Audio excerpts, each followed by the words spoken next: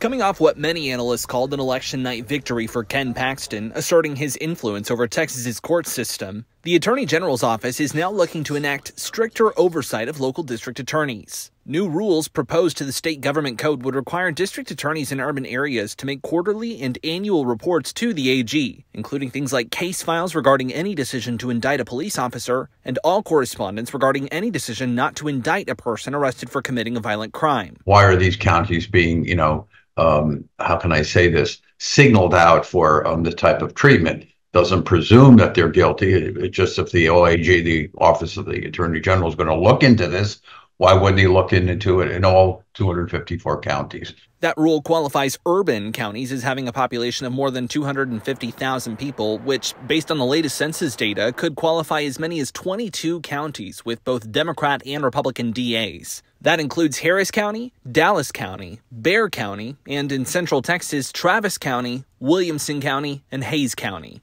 In a statement, Ken Paxton says these enhanced reporting standards will create much needed transparency and enable the public to hold their elected officials accountable. Travis County District Attorney Jose Garza was unavailable for comment, but we spoke to him last week about the pressure from Republicans in the state legislature. You don't think that that's at all going to intimidate the way that your office handles cases over the next four years? Absolutely not. Um, the, the legislature has been um, clear that the job of the prosecutor is not to seek um, convictions, but to see that justice is done. But pushback, should any come from district attorneys, may not mean much. According to Paxton, we're in the midst of a 30 day comment period, but after that, it's going to be up to Paxton and his office whether or not to implement that rule, which could take effect as soon as next month.